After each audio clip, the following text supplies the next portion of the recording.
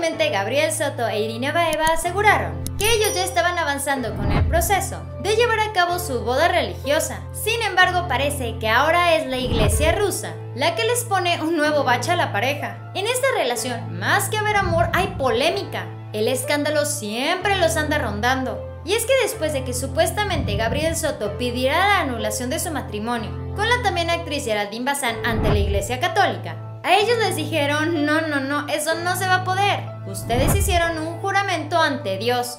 Y esto es hasta que alguno de los dos se vaya de este mundo y los separen. La Iglesia Católica no les puede dar la anulación, debido a que hicieron este juramento. Eh, bonita vestida de blanco y yo dije que sí, pero yo nunca jamás dije que sí por la iglesia, que sí no por la iglesia. Y aunque Gabriel Soto e Irina Baeva andaban buscándole por ahí las letras chiquitas, una señal divina les está diciendo no se casen. Y es que ahora es la iglesia rusa quien está poniendo en jaque a Irina Baeva. Del otro lado del mundo ya le están dando un giro completamente diferente al asunto. Parece ser que sus planes no se podrán llevar a cabo, tal cual ellos lo tenían en mente. Gabriel Soto de plano no podrá anular su matrimonio con Geraldine, pero al parecer ellos decidieron casarse únicamente por el civil. Según esto, porque el actor así lo tenía planeado desde el inicio. Si tan solo la Iglesia Católica y la Iglesia rusa ya les dijeron no se pueden casar, probablemente por el civil sí puedan. Pero si le has platicado con Geraldine si se pudiera anular No, porque sabemos que es algo muy complicado.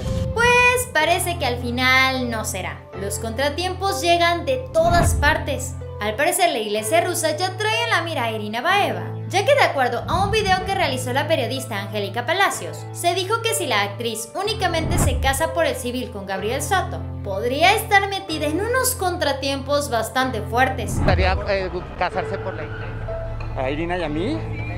Bueno, pues en esas estamos. A ver, a ver, a ver, hay que dejar algo bien en claro. Estos contratiempos no son tal cual contratiempos legales, sino más bien de cómo Irina Baeva será vista en su país de origen. Angélica aseguró que de ahora en adelante podrán llamar a Irina Baeva una chica fácil, una chica que se da de a gratis, de agrapa. Esto debido a que supuestamente todos son muy conservadores por allá. En definitiva, el sueño de Irina Baeva de llegar de blanco al altar está teniendo demasiados contratiempos. Por si esto no fuera suficiente, incluso se dijo que Geraldine Bazán envió una carta al Vaticano para evitar que se realizara el trámite de anulación de su matrimonio.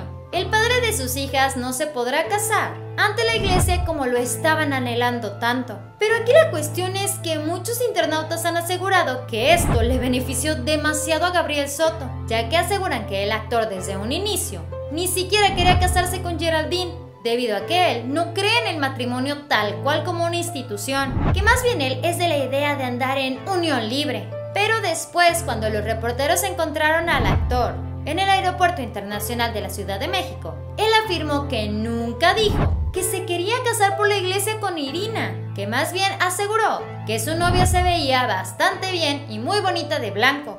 Esto fue Famosos de Cerca. Dale like a este video, suscríbete y síguenos en Facebook. Espero que tengas un excelente día. Nos vemos muy pronto. Bye.